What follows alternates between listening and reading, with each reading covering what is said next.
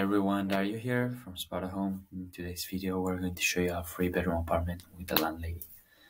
So right here we have uh, the living room and there's this sitting area there with a sofa and a little table uh, right in front of it.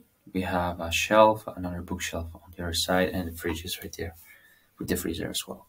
There's the dining table and on the left here you'll have the kitchen with the gas hob, oven, microwave and you have the cupboards where you find the, the tools you may need to cook. Here we have one of the bedrooms. Here we have the on the right side the bed.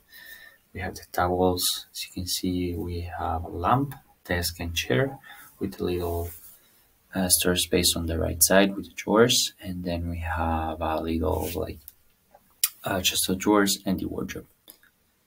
Then if you'll go basically on the opposite side, you'll have uh, another bedroom.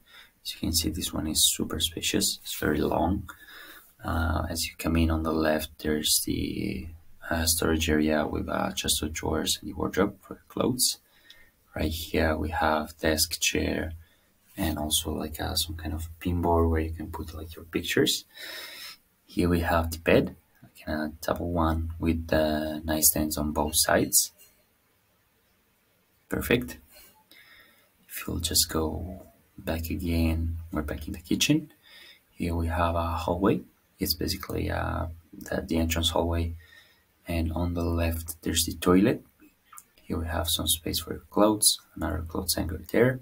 Right here, you'll have uh, the, the shower room.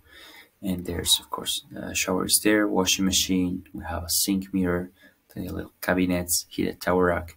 And we have also a couple shelves right there. Then last but not least, we have the, the, the third bedroom.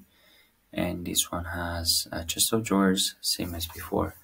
There's the double bed, uh, the desk with the chair. We have big windows. And as you can see, probably the room is very bright, full of natural light. And the wardrobe is right there.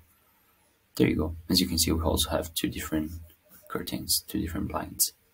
That's it, guys. Thanks for watching.